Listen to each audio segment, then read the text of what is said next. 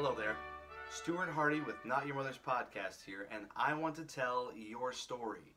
So, I grew up in a cult, I worshiped in a cult, the Independent Fundamental Baptist cult. I'm very interested in hearing other people's experiences inside that cult specifically, but if you were in a different cult or have a cult like background, I do want to hear and retell your story. I understand that for many of us, anonymity is key. If you don't want me to mention your name in telling the story, completely fine. I want to tell your story. So, the reason that you're seeing this video is because I'm very interested in what you have to say. I'm really excited to hear what you have to say. Thanks so much.